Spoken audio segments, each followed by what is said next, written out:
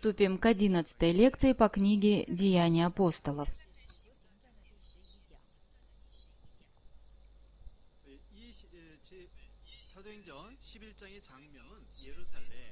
Одиннадцатая глава Деяний. И эта глава называется «Иерусалим».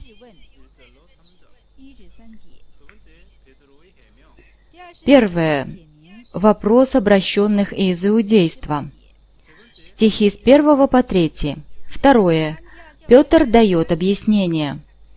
Стихи с 4 по 18. Третье. Зарождение церкви в Антиохии. Стихи с 19 по 30. Прочтем 11.1. Услышали апостолы и братья, бывшие в Иудее, что и язычники приняли Слово Божье. Язычники приняли Божье Слово. Иудеи услышали об этом. Эта новость распространилась повсюду. Стихи 2 и 3. «И когда Петр пришел в Иерусалим, обрезанные упрекали его, говоря, «Ты ходил к людям необрезанным и ел с ними». Петр отправился из Кесарии в Иерусалим. Там верующие из обрезанных стали осуждать Петра. Верующие из обрезанных – это иудеи, уверовавшие в Иисуса.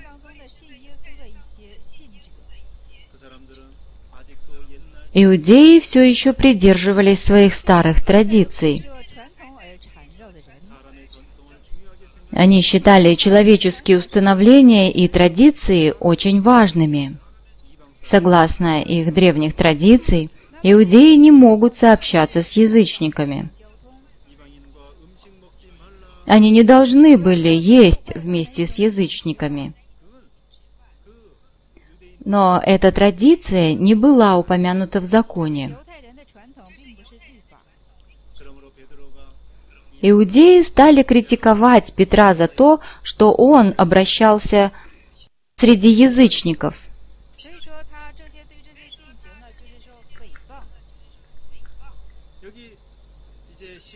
Они осуждали Петра.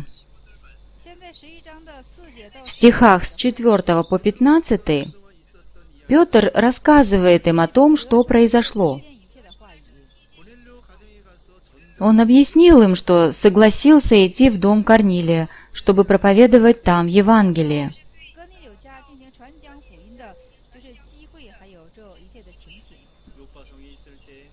Он рассказал им о трех видениях, которые показал ему Бог в Иопии. Петр объяснил иудеям, что был приглашен в дом Корнилия.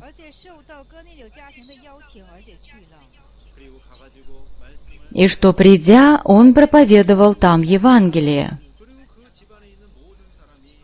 и что все, собравшиеся в доме, слушавшие его, приняли Святого Духа.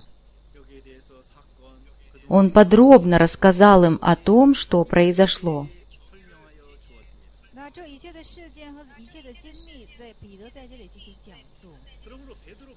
Петр объяснил им, что пошел туда не потому, что ему так захотелось, но потому, что получил откровение от Бога. Петр рассказал им о своем откровении, полученном во время молитвы, и о том, что Корнилий тоже видел видение. Это было указание, полученное от Святого Духа. Петр рассказал, как проповедовал Евангелие в доме Корнилия, и о том, как Святой Дух сошел на всех, слушавших Слово. Он рассказал им, как крестил Корнилия и всю его семью, показывая таким образом, что язычники тоже имеют право принять Евангелие. Это является частью Божьего плана – Человек не должен противиться Божьей воле. Стихи 16 и 17. «Тогда вспомнил я слово Господа, как он говорил, Иоанн крестил водою, а вы будете крещены Духом Святым. Итак, если Бог дал им такой же дар, как и нам, уверовавшим в Господа Иисуса Христа, то кто же я, чтобы мог воспрепятствовать Богу? Иоанн крестил водою, а вы будете крещены Духом Святым. Мы принимаем Духа Святого, когда верим в Иисуса. Язычники уверовали в Иисуса и приняли Духа Святого. Деяния 1.5, Матфея 3.11 Отказаться нести благую весть язычникам – это значит препятствовать осуществлению Божьей воли. План Божий частично заключается в том, чтобы дать язычникам новозаветного периода возможность покаяться.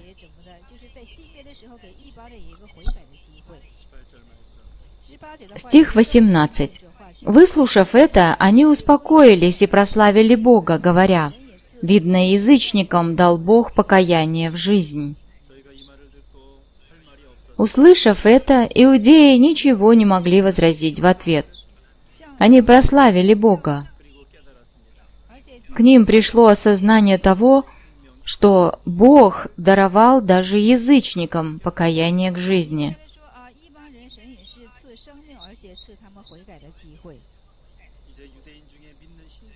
Верующие, обращенные из иудейства, поняли, в чем заключалась Божья воля.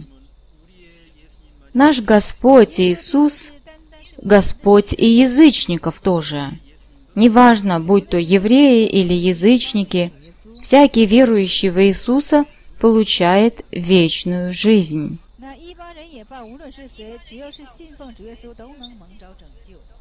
Евреи осознали, что такова Божья воля. 19 стих. Между тем рассеявшиеся от гонения бывшего после Стефана – прошли до Финикии, Кипра и Антиохии, никому не проповедуя слова, кроме иудеев. Диакон Стефан стал мучеником. Много верующих рассеялись повсюду из-за преследований. Они дошли до Финикии, Кипра и Антиохии. Финикия расположена неподалеку от Тира и Сидона. Кипр – это остров, расположенный около Палестины.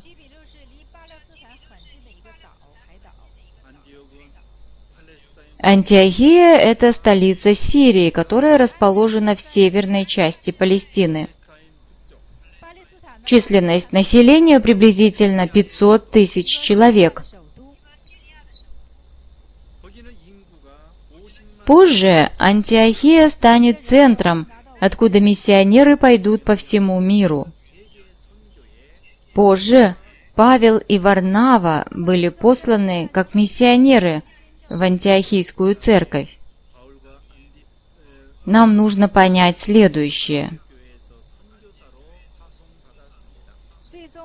Многие верующие рассеялись в результате гонений. Однако это способствовало распространению Евангелия повсюду.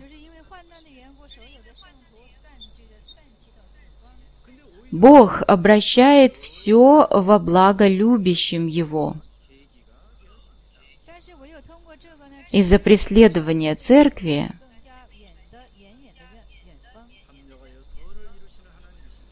Евангелие распространилось повсюду. Сначала верующие проповедовали только евреям,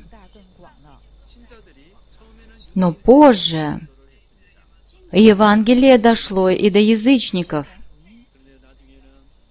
Когда мы не проповедуем, возникают проблемы. Неважно, слушают нас люди или нет – мы должны проповедовать Евангелие. Евангелие – это сила Божья. Римлянам 1, 16. 1 Коринфянам 9, 16. Дух Святой с нами и помогает нам, когда мы благовествуем. Святой Дух наделяет нас силой. Стихи 20-21. Были же некоторые из них кипряне и киринейцы, которые, придя в Антиохию, говорили еленам, благовествуя Господа Иисуса. И была рука Господня с ними, и великое число, уверовав, обратилось к Господу. Группа людей отправилась в Антиохию. Они говорили об Иисусе грекам. Они благовествовали язычникам. Многие уверовали в Иисуса Христа. Великая Божья сила проявлялась через них. Стихи 22-23. Дошел слух о сем до церкви Иерусалимской, и поручили Варнаве идти в Антиохию. Он, прибыв и увидев благодать Божию, возрадовался и убеждал всех держаться Господа искренним сердцем. начала распространяться новость о том, что в антиохийском регионе спасается много язычников. Слух дошел до Иерусалимской церкви. Варнава был послан в Антиохию.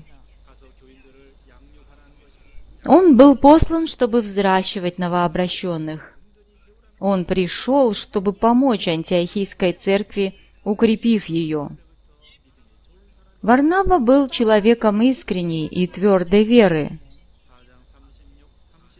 Четвертая глава, стихи 36-37.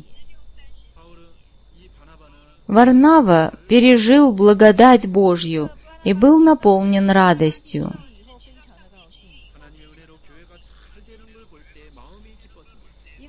Он чрезвычайно возрадовался, когда увидел, что церковь по благодати Божьей процветает – он вдохновил церковь, убеждая всех держаться Господа искренним сердцем. Он ободрил их, наставляя быть крепкими и смелыми в вере. Вдохновил, чтобы их сердца не смущались и не колебались, чтобы они не потеряли свою веру. Вера должна расти, мы не должны позволять себе склоняться пред лицом трудностей. Веру свою необходимо утверждать на вечной скале. Мы должны быть непоколебимы в вере. 24 стих. «Ибо он был муж добрый исполненный Духа Святого и веры, и приложилось довольно народа Господу». Варнава был хорошим человеком. Он был исполнен Духа Святого и веры. Варнава пришел в Антиохийскую церковь и укрепил ее. В результате к церкви приложилось много новых людей.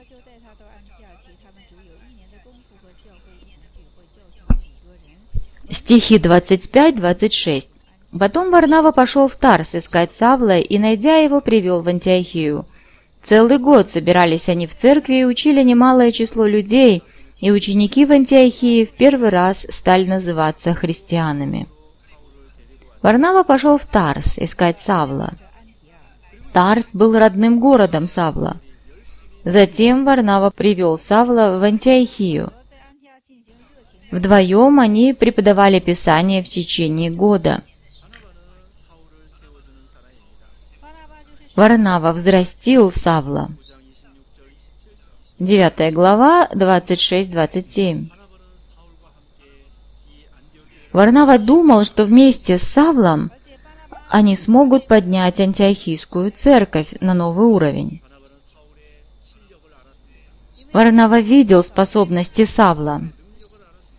Он понимал Савла – И поэтому Варнава призвал Савла к совместной работе.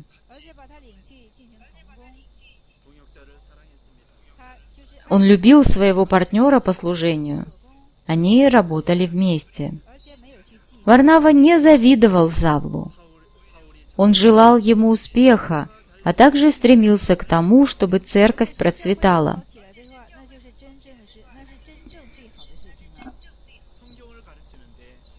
Савел играл важную роль в преподавании Писания. Варнава поднял Савла таким образом. Их отношения были похожи на отношения Давида и Ионафана, а также на взаимоотношения Андрея и Петра. Ведь это Андрей призвал Петра к благой вести. Савол и Варнава обучали антиохийскую церковь истинам Писания. Тогда и там впервые верующие стали называться христианами. Христианин значит человек, принадлежащий Христу. Это значит принадлежать Христу. Вот что это значит. Сначала это слово употреблялось в качестве ругательства. Деяние 26-28. Христианин означало быть экспертом Иисуса. Сначала это слово употреблялось для того, чтобы оскорблять верующих в Иисуса. Однако имя христианин стало славным именем.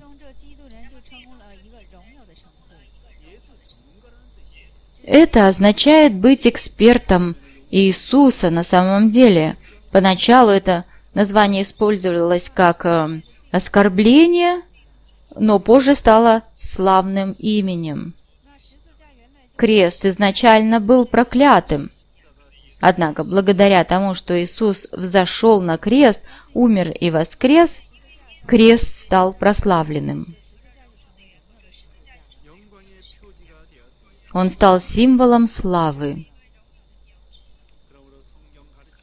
Поэтому очень важно преподавать Слово Божье.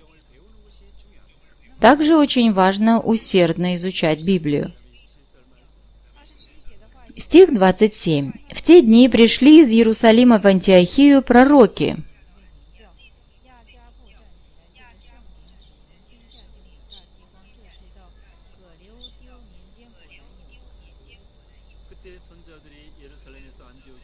В это время пророки пришли из Иерусалима в Антиохию.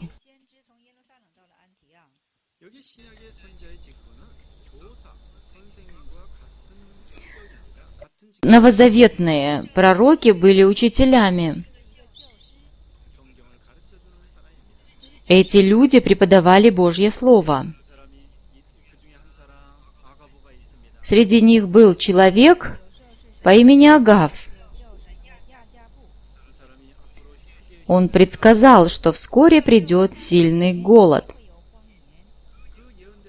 Его пророчество исполнилось был голод во время правления Клавдия. Существовала причина, по которой Бог предупредил о грядущем голоде. Это было сделано для того, чтобы призвать народ к покаянию. Сегодня пророчество – это слова, записанные в Библии. От Матфея 24 стихи 7 и 8. Иисус пророчествовал о последних днях. Мы должны видеть пророческие слова в Библии.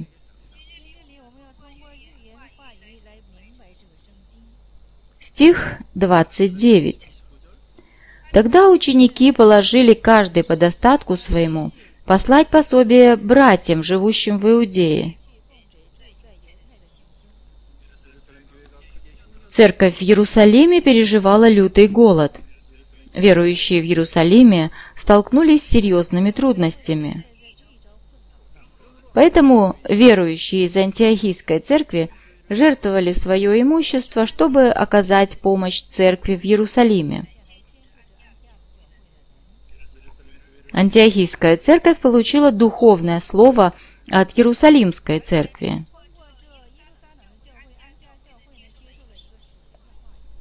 Поэтому было правильно, что они поддерживали Иерусалимскую церковь материальными благами.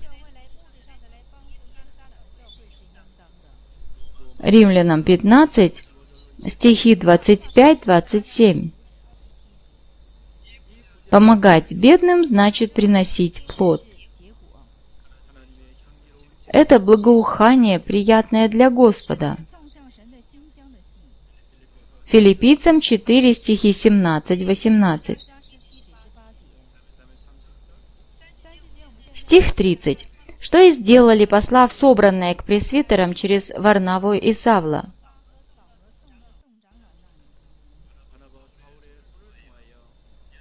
Люди послали собранное к пресвитерам Иерусалимской церкви через Варнаву и Савла.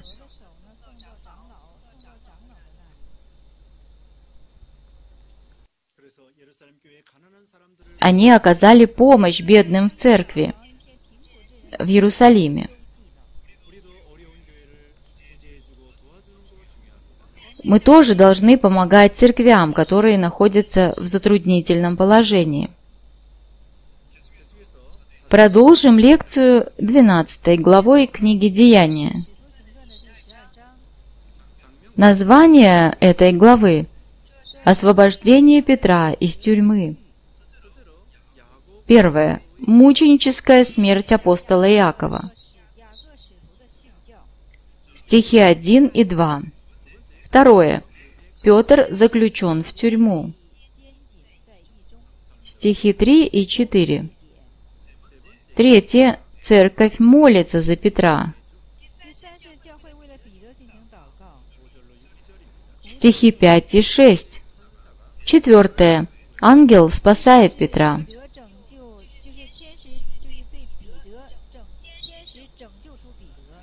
Стихи с 7 по 12.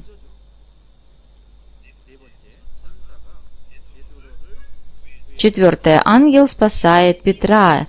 Стихи с 7 по 12. Пятое. Петр скрывается после оповещения верующих о своем побеге. Стихи 13-17.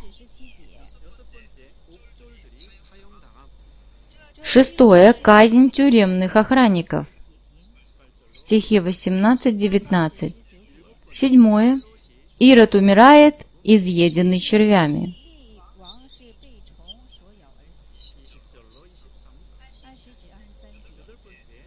Стихи 20-23. Восьмое. Слово Божье растет и распространяется. Стихи 24-25.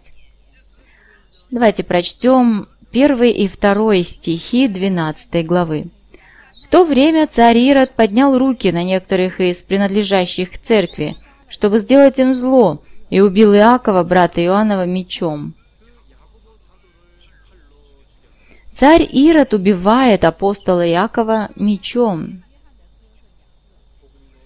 По мере распространения Евангелия увеличились и преследования –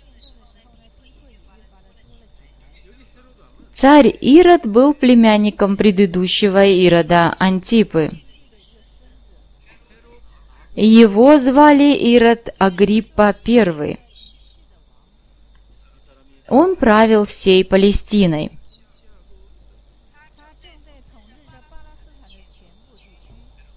Царь Ирод гнал христиан, чтобы получить благосклонность иудеев.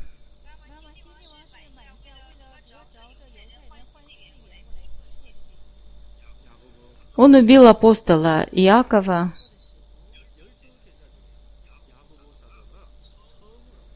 Апостол Иаков был первым мучеником среди двенадцати учеников Иисуса. Почему апостол Иаков был убит первым в столь молодом возрасте?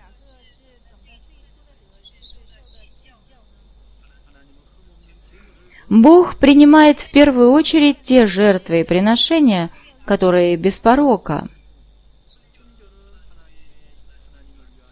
Мученическая смерть – это самое большое, что может сделать человек ради Бога.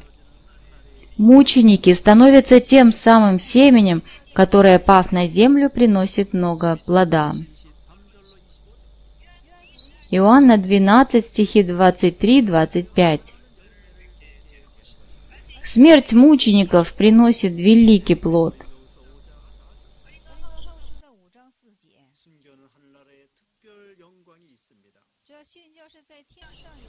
Второе Коринфянам 5.4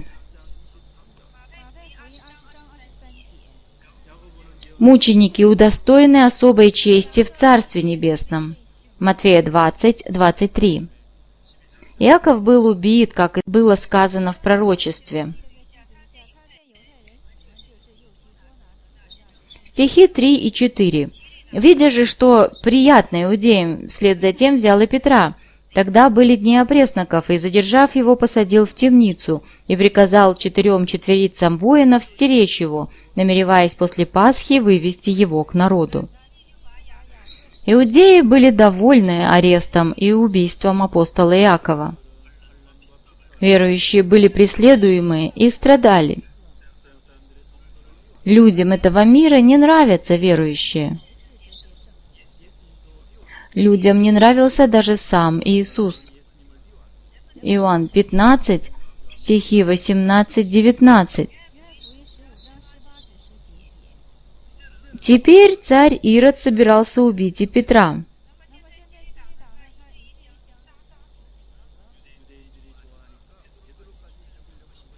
Он видел, что угодил иудеям, и теперь собирался убить апостола Петра. Ирод заключил Петра в темницу. Он намеревался казнить его после праздника Пасхи. Стих 5. «Итак Петра стерегли в темнице, между тем церковь прилежно молилась о нем Богу». Верующие усердно молились о Петре, пока он сидел в темнице.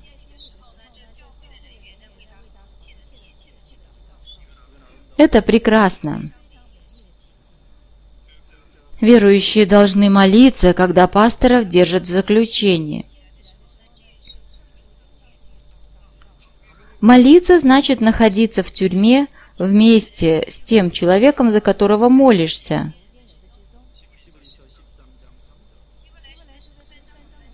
Евреям 13.3.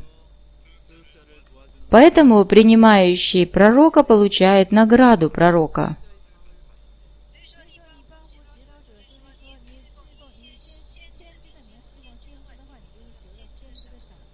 Стих 6. Когда же Ирод хотел вывести его, в ту ночь Петр спал между двумя воинами, скованный двумя цепями, и стражи у дверей стерегли темницу. Петр спал между двумя воинами. Он был скован двумя цепями. Стражи у дверей стерегли темницу.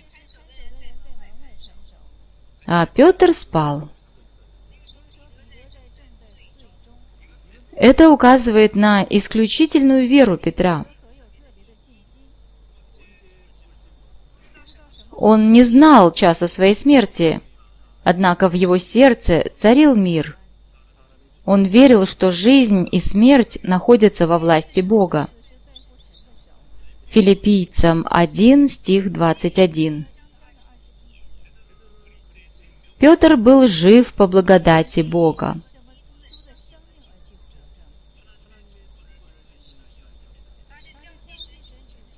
Он знал, что его жизнь находится в Божьих руках, он имел веру во Всевышнего Бога. Псалом 126, 2.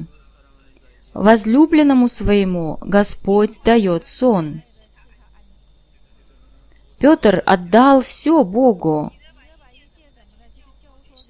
В его сердце царил мир. Стих 7. И вот ангел Господень предстал, и свет осиял темницу. Ангел, толкнув Петра в бок, пробудил его и сказал, «Встань скорее!» И цепи упали с рук его.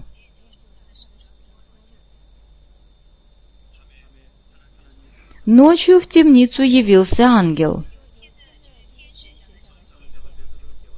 Он разбудил Петра.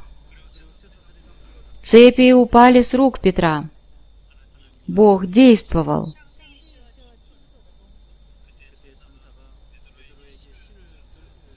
Затем ангел сказал Петру, «Опояшься и обуйся». Петр последовал за ангелом. Двери темницы открылись, но никто из людей не заметил этого. Двери открыл Бог. Псалом 126, 1 Бог освободил Петра.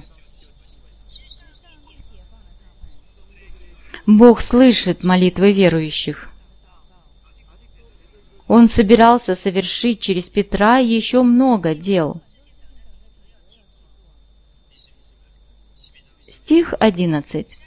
Тогда Петр, придя в себя, сказал, «Теперь я вижу воистину, что Господь послал ангела своего и избавил меня из руки Ирода и от всего, чего ждал народ иудейский». Петр пришел в себя. Он осознал, что ангел Господень спас его. Он воздал благодарность и славу Богу. Он пережил действие Божьей силы. Затем он пошел в дом Иоанна, также называемого Марк. В доме на молитву собрались верующие. Петр пришел туда, чтобы сообщить им хорошую новость. 13 и 14 стихи.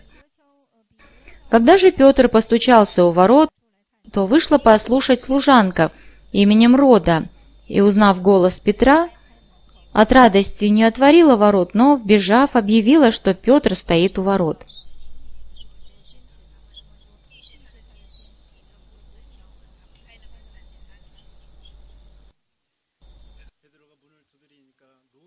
Когда Петр постучался в двери,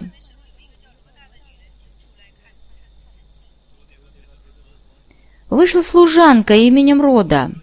Она узнала Петра.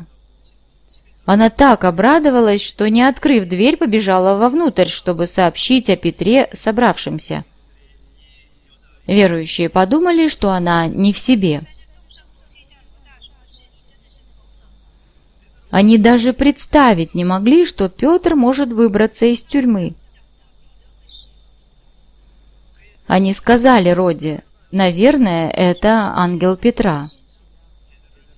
Верующие подумали, что это ангел-хранитель Петра стоял у их двери. Это вовсе не значит, что каждый человек имеет своего личного ангела. Ангелы являются служебными духами. Евреям 1.14.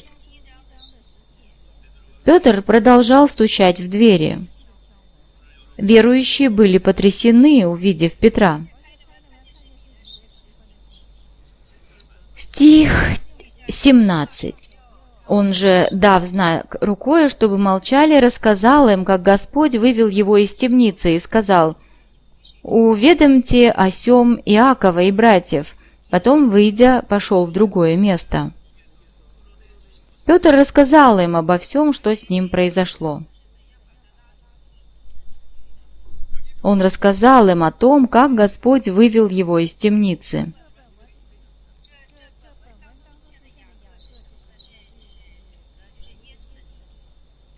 Иаков, о котором сказано в этом отрывке, был младшим братом нашего Господа Иисуса.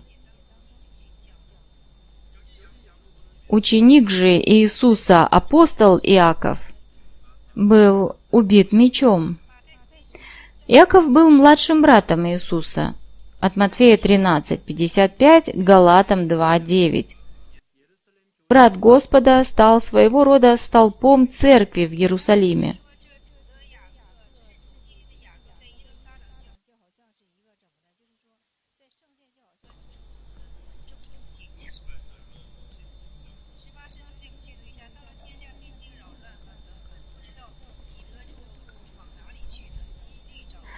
Стихи 18-19. По наступлении дня между воинами сделалась большая тревога о том, что сделалось Петром. Ирод же, поискав его и не найдя, судил стражей и велел казнить их. Потом он отправился из Иудеи в Кесарию и там оставался. Утром Ирод приступил к поискам Петра, но Петр исчез. Ирод был в ярости и приказал казнить тюремных стражей. А затем Ирод отправился в Кесарию и оставался там. Ни один, даже самый могущественный царь не может победить Бога.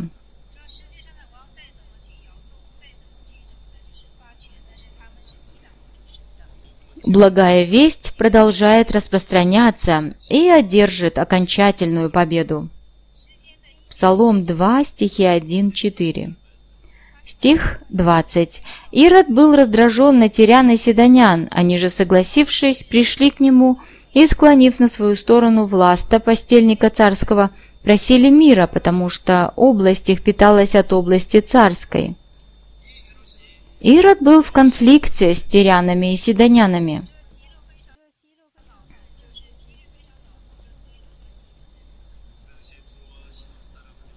Те времена они покупали пищу в Иудее. Однако между иудеями и населением Тира и Сидона возник конфликт.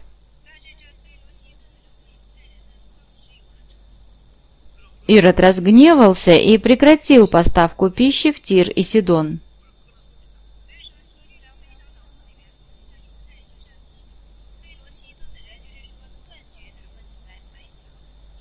По этой причине население Тира и Сидона начало голодать.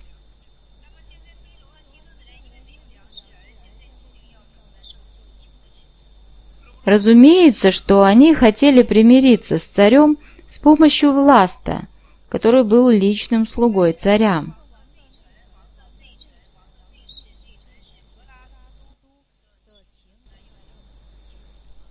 Стих 21. В назначенный день Ирод, одевшись в царскую одежду, сел на возвышенном месте и говорил к ним. В назначенный день Ирод, одевшись в царскую одежду, сел на возвышенном месте перед народом.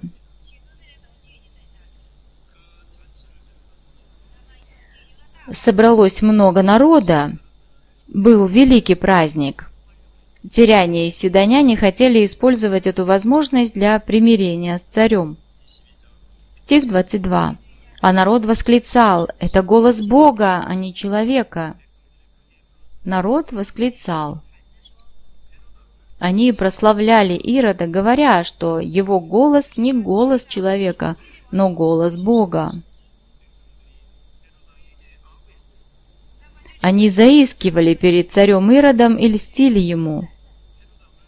Народ обожествлял Ирода и превозносил его. Стих 23. «Но вдруг ангел Господень поразил его за то, что он не воздал славы Богу, и он, быв изъеден червями, умер. Люди превозносили царя Ирода. Ирод не воздал славы Богу. Поэтому ангел Господень поразил его. Ирод был изъеден червями.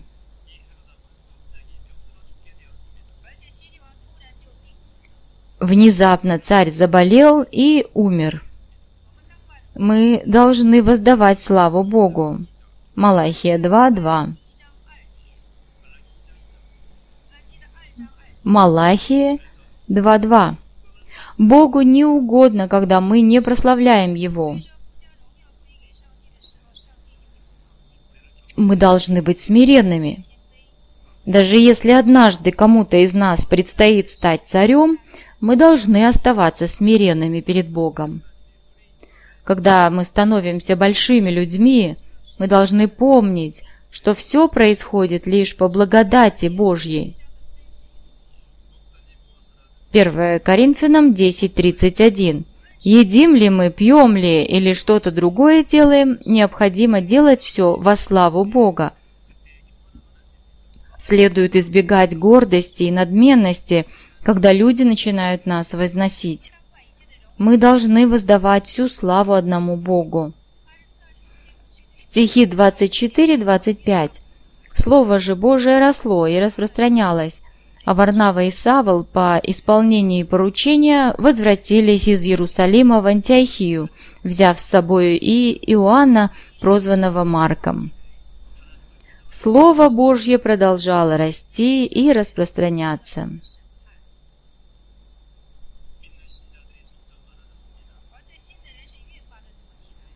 Те, кто вставал на пути у дела Божьего, попадали под его суды. Количество верующих возрастало. Божье дело процветало. Варнава и Савол помогли Иерусалимской церкви и возвратились назад. Они вернулись в Антиохию. Они привели с собой Иоанна, также названного Марком.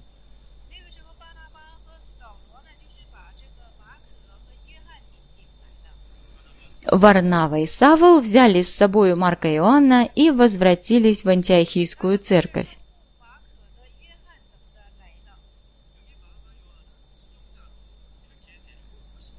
Они привели его туда в качестве служителя. Именно Иоанн, он же Марк, является автором Евангелия от Марка. Марк сопровождал Варнаву и Савла в их миссионерских путешествиях.